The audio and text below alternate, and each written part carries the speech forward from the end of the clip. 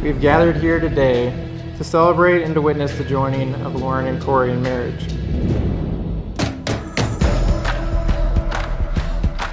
Corey, will you take Lauren as your wife, as your companion and best friend for life?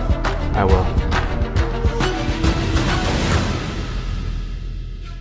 Ladies and gentlemen, it is my great honor to present Mr. and Mrs. Corey and Lauren Hall.